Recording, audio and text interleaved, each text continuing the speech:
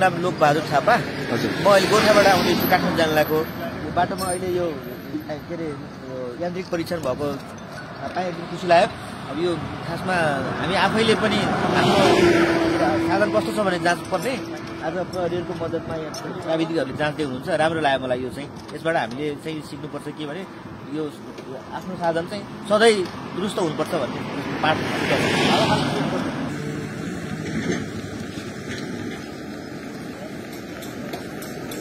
अब हाइवेमा घुम्नु भएको छ अब अत्याधिक अब एक्सिडेन्टहरू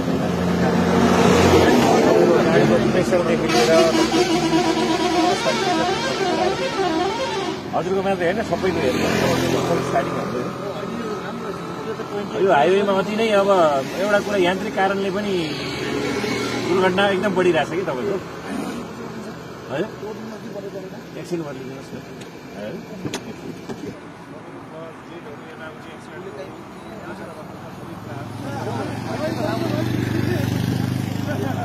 गरेको राम्रो हो किनभने अब हामी लङ टुर बाटो हिँड्नुपर्छ होइन जस्तै गाडी अब कुनै कन्डिसन हुनसक्छ नहुनसक्छ होइन कन्डिसन नभएको गाडीले भयो भने पेन्जा दुःख पाइन्छ होइन जस्तो अब आफूले पनि दुःख पाइन्छ त्यही भएर गाडी कन्डिसन राखेर हिँड्नु पर्यो भनेपछि यो जुन तरिकाले चाहिँ चेकिङ भइरहेको छ मुकिङमा एकदम- राम्रो। तपाईँ खुसी हुनुहुन्छ? खुसी म त एकदम खुसी।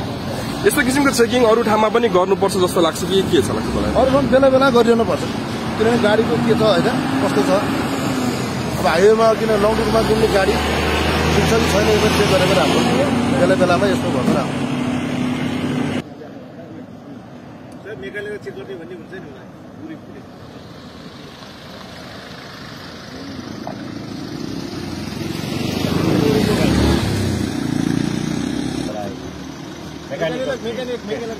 तो बोल देगा आपको उसी तरह आप मेंटेन कीजिएगा हाँ?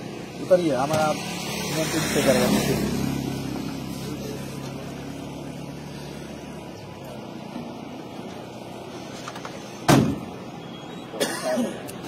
अभी तक तो नहीं किया। इंडिया में होता है कि नहीं ऐसा? नहीं होता है। होता भारत है। में होता है इंडिया में होता है लेकिन यहाँ पे हो रहा है। नेपाल में फ़र्स्ट टाइम आप देख रहे हैं। मैं देख रहा हूँ। कैसा लग रहा है आपको? बहुत अच्छा लग रहा है। क्या बोलना चाहते हैं आप? ये जो कर रहे हैं आप बहुत अच्छा है। इसकी वजह से कुछ अगर गड़बड़ी है कुछ दिक्कत है तो वो भी सामने आएगी। आपके मैकेनिक बताएंगे उस चीज को मैं ठीक करने की कोशिश करूंगा। लेकिन अभी तो फिलहाल सब कुछ ठीक ही है। सफल रहोस् भनेर हामीले गर्ने हो एकछिन त्यो कारणले गर्दा तपाईँको गाडीको कन्डिसन के छ? यो सवारी दुर्घटनाको मुख्य कारणहरू मध्येमा एउटा यान्त्रिक कारण पनि पर्छ। अब ड्राइभरको लापरवाहीदेखि लिएर अब सडकको दुरावस्थादेखि लिएर यान्त्रिक कारणहरूको कारणले एक्सिडेन्टहरू धेरै भइरहेछ। त्यो हाइवेमा अहिलेको चाहिँ समस्या देखिएकोले यान्त्रिक जाँच चाहिँ अहिले हामीले सुरु गरेका छौँ। यहाँहरूको चाहिँ यात्रा सफल होस्। यहाँहरूको जुन ठाउँसम्म पुग्नुपर्ने डेस्टिनेसन छ त्यो ठाउँसम्म सुरक्षित तपाईँहरूले यात्रा होस् भन्ने हिसाबले हामीले यो गरेका छौँ।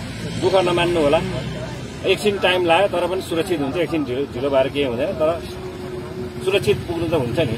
त्यस कारणले गर्दा यहाँहरू सुरक्षित पुग्नुहुन्छ भन्ने एउटा हामीले आशा पनि लिएका छौँ। र अहिले गाडीको कन्डिसन हेरेर तपाईँको गाडी ठिकै छ राम्रो छ। जुन हाम्रो इन्जिनियर साहबले यान्त्रिक चेक जाँच गर्दाखेरि तपाईँको इन्जिनकोदेखि लिएर गाडीको टायरको प्रेसरदेखि लिएर सबै कुरा हेर्छ।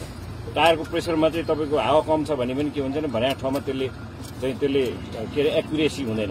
त्यस कारणले गर्दाखेरि पनि गाडी ठोकिने लड्ने विभिन्न किसिमका डरहरू हुन्छ। त्यस्तो डरहरूबाट चाहिँ यहाँहरू अहिले सुरक्षित हुनुहुन्छ भनेर सोच्नु होला। यहाँको यात्रा सफल रहोस्।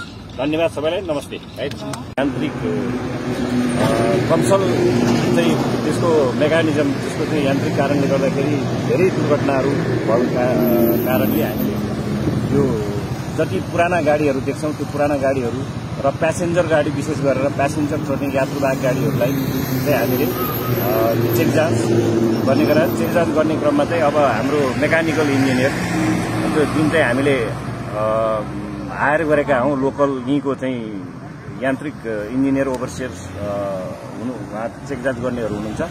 उहाँहरू मार्फत हामीले यो अहिलेको कार्य गरिरहेका छौँ यसमा चाहिँ अधिकतम गाडीहरूमा चाहिँ समस्या ब्रेक ब्रेक चाहिँ राम्रोसँग एप्लाई नहुने र टायरमा प्रेसर कम हावा कम। जसको कारणले गर्दाखेरि अप्ठ्यारा बाटोहरूमा एक्युरेसी नहुने र दुर्घटना हुने।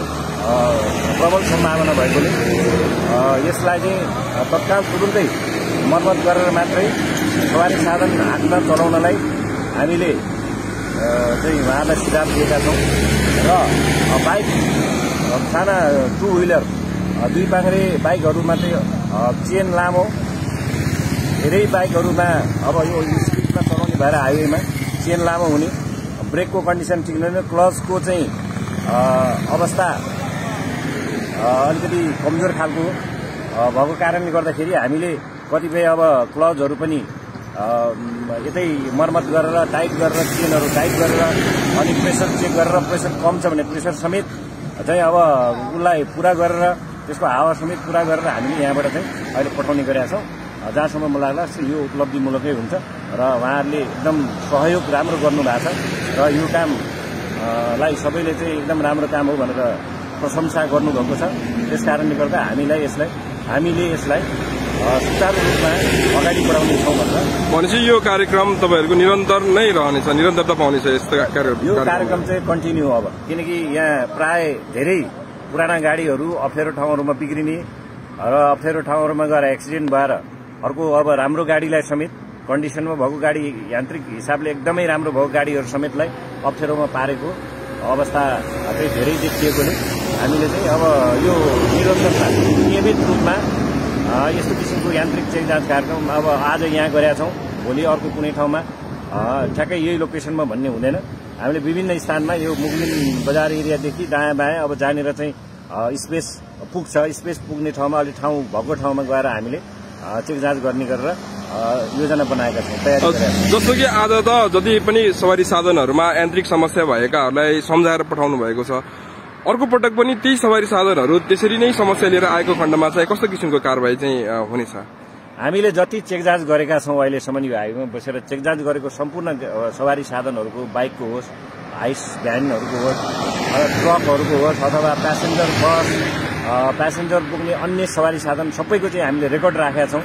रेकर्ड राखेको रेकर्ड हेरेर अब दोहोरिएर उसले दोहोऱ्याएर त्यही किसिमको समस्याहरू उसले चाहिँ लापरवाही गर्यो। त्यो किसिमका चाहिँ फेरि चाहिँ दोहोऱ्याएर लापरवाही गर्यो भने उसलाई ट्राफिक कारवाही हुन्छ। त्यो अनुसार हामीले मिलाएका छौँ।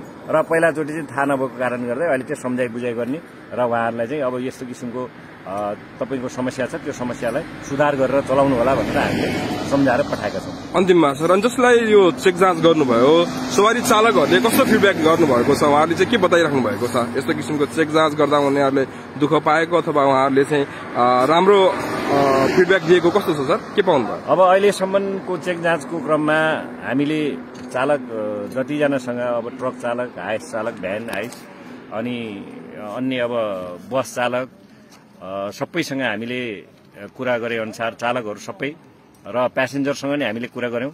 उहाँहरू सबै खुसी हुनुहुन्छ। एकछिन रोकेर केही फरक पर्दैन तर हामी सुरक्षित गन्तव्यमा पुग्छौँ भनेर उहाँहरूले सबैले चाहिँ प्रशंसा नै गरेको गरेको। पा- पाएका छौँ अहिलेसम्म। अब पछिको समस्या के आयो भने पछि भन्दै गरौँला यहाँलाई हस् धन्यवाद सर